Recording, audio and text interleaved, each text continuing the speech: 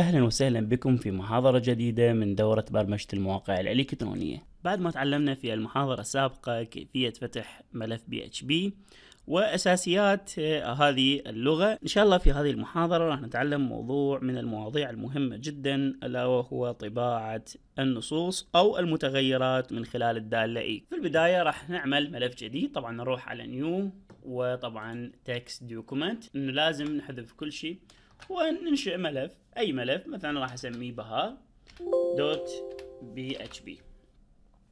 ونفتح هذا الملف. طبعا راح يطلب من عندنا هل تريد تغيير الملف إلى PHP؟ نقول له okay.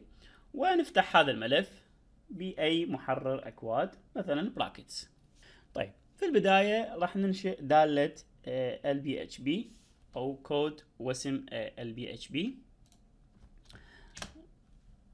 طبعا هذه مثل ما آه، تعلمنا في المحاضرة السابقة.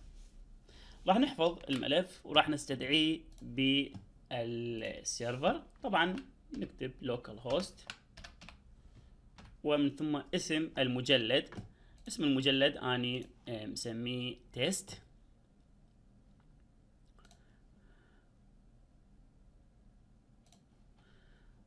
طبعا نكتب local host ومن ثم test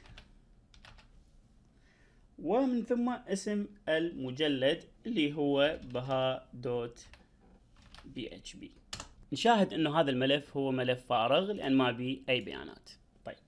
حتى نضيف بيانات آه هذه البيانات يا أما نضيفها كمتغير يا أما نطبعها بشكل مباشر.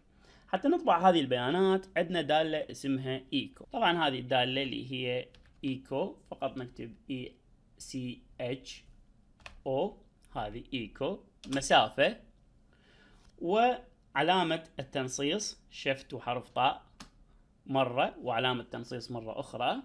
ونكتب النص مثلا نكتب دبلومة برمجة المواقع الإلكترونية. طيب. وطبعا لابد أنه نغلق وسم ال PHP من خلال الفارزة المنقوطة. وطبعا control S إذا نجي آه، إلى المتصفح و refresh راح نلاحظ أنه راح تطلع عندنا دبلومة برمجة المواقع الإلكترونية. طيب.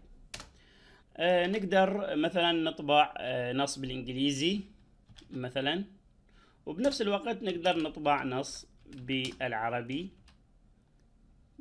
بهاء مثلا عبد الستار. وبنفس الوقت نقدر نطبع أرقام بنفس الطريقة. نغلق وسم الإيكو ونحفظ. وطبعا آه، نحاول إنه نسوي ريفرش لاحظ إنه أصبحت عندنا آه، الجملة ملتصقة بسبب إنه عندنا هنا هذه الجملة موجودة. طبعا control S و refresh لاحظ إنه بهاء عبد الستار وبهاء بالإنجليزي وهذه 90 90 اللي هي الأرقام. راح نحذف كل شيء. وراح نحفظ. وطبعا نجي هنا آه، نسوي refresh راح كل شيء ينمسح. عندنا فد شي اسمه concatenate concatenate يعني ربط أو تعاضد. شنو يعني concatenate يعني أجي أقول ايكو ايكو وأطبع هذه الجملة. مثلا بهاء word بالإنجليزي. وأجي أطبع بهاء word بدالة أخرى. طيب. نجي هنا نعيد. إيكو. وراح أكتب عالم بهاء الاحترافي.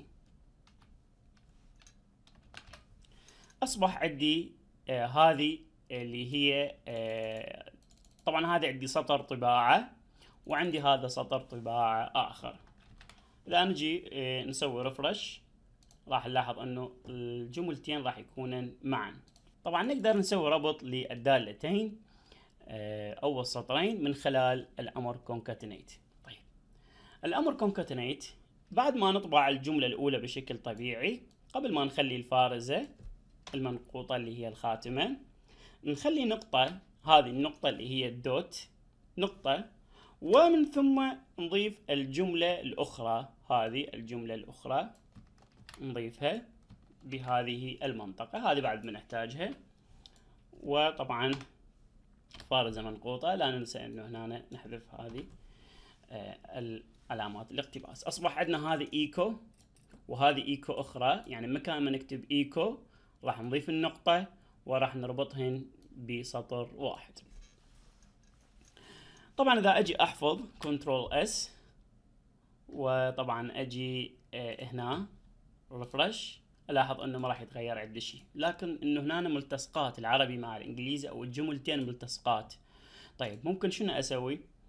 آه، أضيف ربط هذه concatenate يعني علامات اقتباس وأخلي فراغ. وأجي هنا أضيف بيناتهن dot يعني صار عندي هذه الجملة الأولى بالإنجليزي مربوطة مع الجملة الثانية اللي هي الفراغ. مربوطة مع الجملة الثالثة اللي هي آه، الجملة العربية. control S. وطبعا refresh. آه، لاحظ إنه راح يصير فراغ. طبعا ممكن نجي هنا نضيف ممكن فاصلة ممكن فراغ فاصلة. control S.